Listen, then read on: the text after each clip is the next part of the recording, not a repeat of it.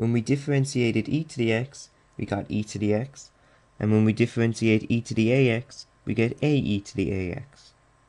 So it follows that when we integrate e to the x, we get e to the x plus c, and when we integrate e to the ax, we get e to the ax over a plus c.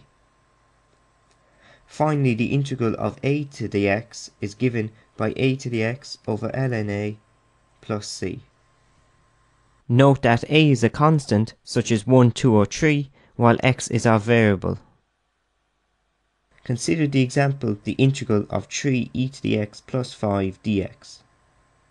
So this sum of two functions can be split up into two integrals. So 3 e to the x dx plus the integral of 5 dx. So when we integrate e to the x, we get e to the x, so 3 e to the x. And when we integrate a constant, we get the constant by x, so plus 5x plus c. In the next example, we can see that the function 2e to the t plus e to the 3t over e to the t is not in its simplest form.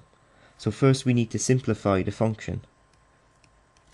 So if we split up the fraction, we get 2 e to the t over e to the t plus e to the 3t over e to the t. And then use the rule of indices to get 2e to the 0 plus e to the 2t or simply 2 plus e to the 2t. And so now the integral of 2e to the t plus e to the 3t over e to the t dt is simply the integral of 2 plus e to the 2t dt.